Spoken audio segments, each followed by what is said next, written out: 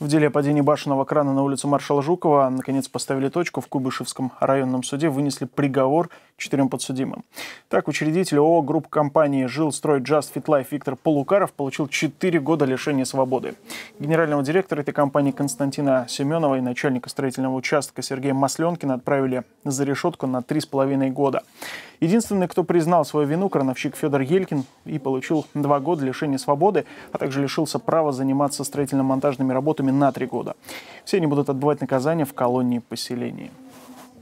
В ходе следствия судебного заседания, э, то есть указанные лица э, вину не признавали. Единственный, кто признал вину, это Елькин. Э, остальные лица пытались переложить ответственность, перекладывая ее друг друга, указывая, что они, ну, пытаясь смягчить таким образ, образом свою участь и переложить ответственность на другое лицо. Напомню, трагедия произошла 26 октября 2015 года около 17 часов. Кран рухнул и придавил два автомобиля Toyota RAV4 и ГАЗ «Соболь». В результате обрушения погибли 30-летний водитель иномарки, его 33-летняя супруга и их четырехмесячный сын. Мужчина, управлявший отечественным автомобилем, скончался в больнице.